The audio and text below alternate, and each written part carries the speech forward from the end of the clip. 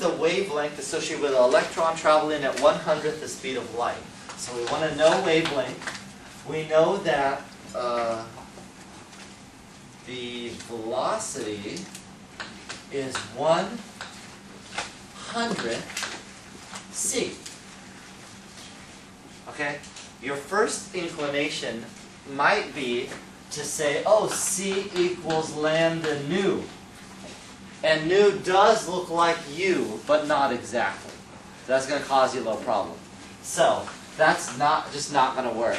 You have to think in this one de Broglie. So lambda equals, I believe, h over mu. If you if it's lambda in frequency, it's this one. But if it's lambda in velocity, it has to be this. It's the only possible formula.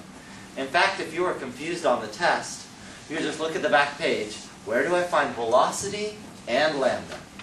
And, and that's all you can do.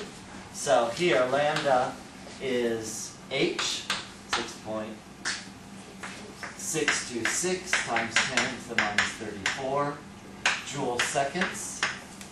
Uh, m, is this an electron? Yeah. It's an electron, so you look on the back of the test for the mass of the electron. And then velocity, it's c divided by 100.